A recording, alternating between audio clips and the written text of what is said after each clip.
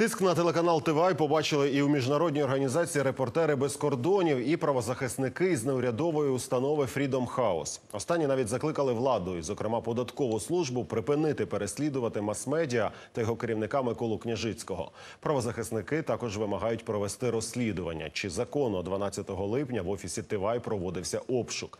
Припускають, що переслідують телекомпанію саме через критику, що лунає в ефірі нашого телеканалу на адресу влади та, зокрема, президента Віктора Януковича.